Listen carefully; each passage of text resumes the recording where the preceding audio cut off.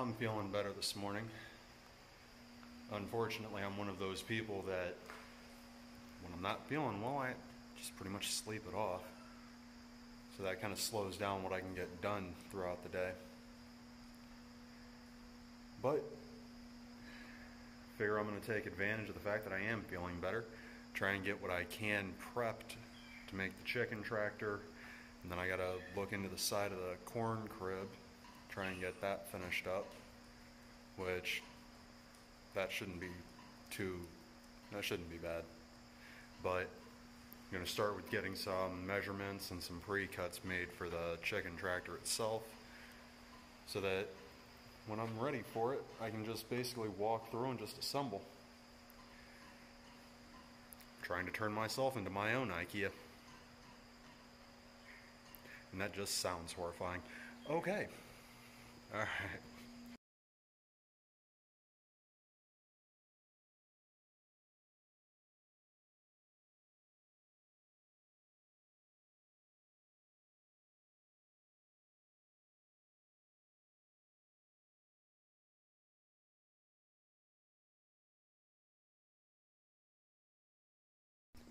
I neglected to take video of me cutting these down, but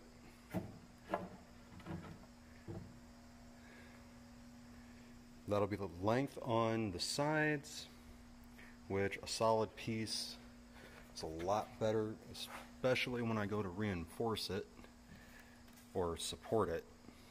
I'm trying to get two shorter pieces to come together.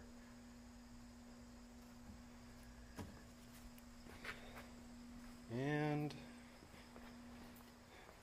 coupled with these, that'll be two foot, and I'm a little bit impressed with myself at the moment.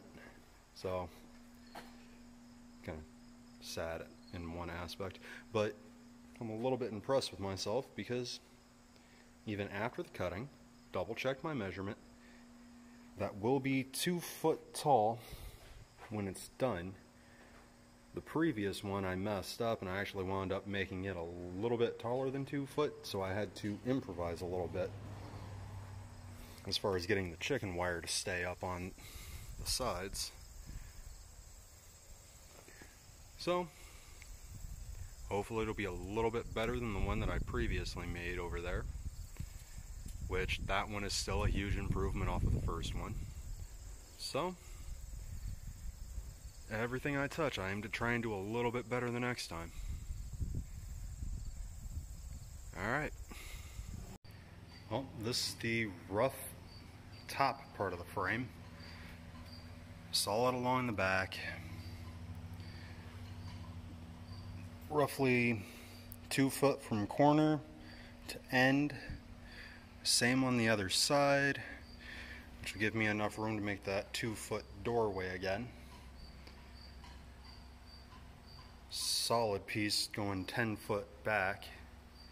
So while the outside dimensions are going to be 6 by 10, the inside will be probably about 4 inches shy of that.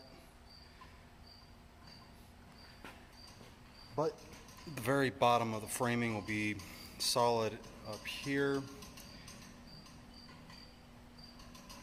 I just want to run the PVC and things like that so I can get a rough idea as to the actual end height. Make sure that I'm not going to mess that up so that when I we go to do the door frame, that's squared away and correct. So, figured I'd show you guys where it stands. Oh, yeah, before I forget, before I forget, I intend to run at least one vertical support about midway on this board and back here. Obviously, both of the opening entry, entry points and both of the front corners, both of the back corners, one in the very center of the back, and then I'll do the diagonals as well, just to try and reinforce it. Because getting lifted and pulled and moved around The more stoned it is, the better off I am. Alright. Okay. I was just going to use a jigsaw, cut it out. Well, without something to properly secure it, I didn't want a chance cutting myself, especially with a saw blade. So, what I did was I cut straight edges off of it and then sanded it down just to get myself at least a rough round so that this is how it ended out. And then I'll put, I'm gonna put two screws in on one on each side, and then I'm gonna put a third one in down in the bottom. And then I'm gonna put an eyelet into the top. So that'll go in about here. And then that'll be what the chain hooks to. And that'll be solid and sealed, especially once I actually get it screwed in. But this also gives me the opportunity to do a little bit of fine tuning. I need to take a little bit off of these edges. So, we'll get that handled. Oh, trying to use my time wisely. Lost a little bit of it today. Ann had to do some running. But just weed eated between the barn and the flower or garden bed. Wow, flower. That patch in the center right there that's a little bit more of a brown color is what I just went through. Should have taken a picture of it beforehand, but I didn't. But I got that done and went along the side of the barn again just to clean it up a little bit. Well, I found a new toy. It's actually an attachment that fits my weed eater. And I found it in the Quonset hut in what looks like a weed eater graveyard.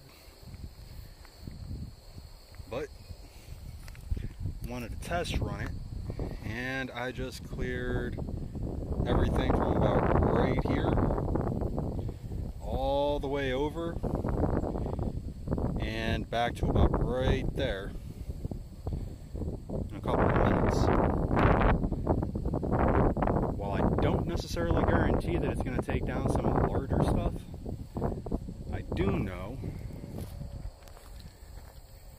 that things like this that were giving the weed eater string a little bit of a hard time. Things like this that my weed eater didn't particularly care for aren't really much of an issue for it. So, that's definitely a good thing. And, in the worst case scenario, I'm not going to have to buy string again. But I got to sharpen that up just a little bit. Wanted to test run it before I put any effort into the blade itself. Because, well, wouldn't be any point in trying to sharpen it up if it didn't work. Alright.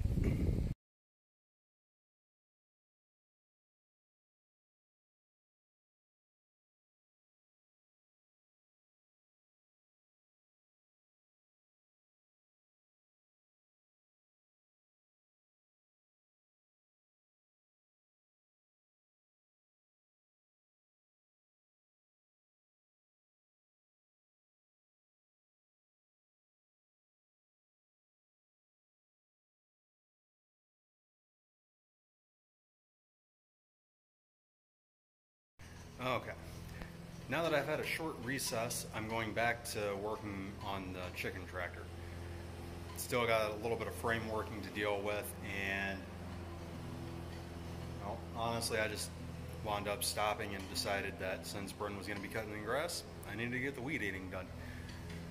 But set up the camera, time lapse again, and we'll go from that. Okay.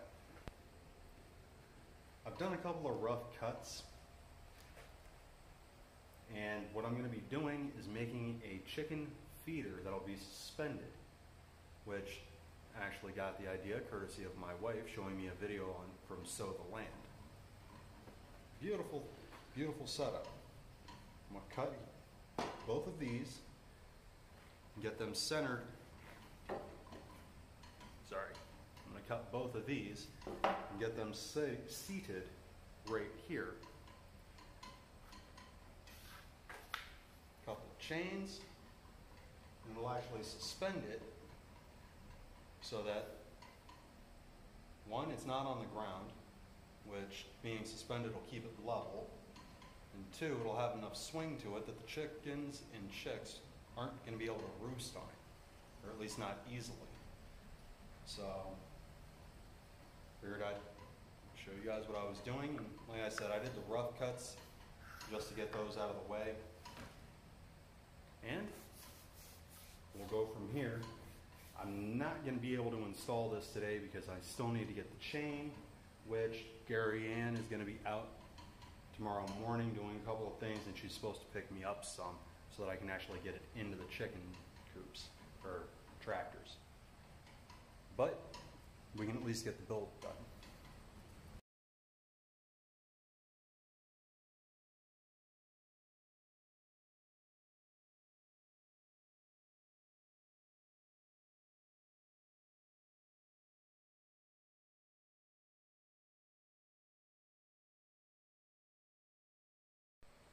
Well, here it is. That's two inches, yeah, it's two inches shy of five foot, just because of the inch for each board. But with the eyelets in, it'll hang. Won't have to pull it to move them. It'll hold a little bit more feed than what they currently have. Just need the chain so we can get it in there.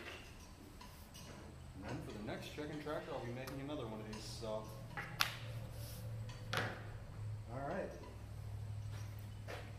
Alright everybody, we're going to try out making kohlrabi for the first time. From what I understand, if you roast it like a potato, it cooks up pretty close to a potato. So we're going to roast them in the oven and see how they turn out.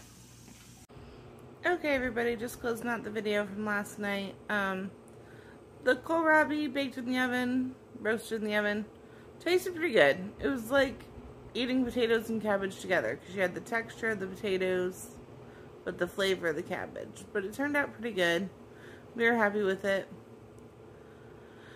Now, on to the next for today. Y'all have a good day.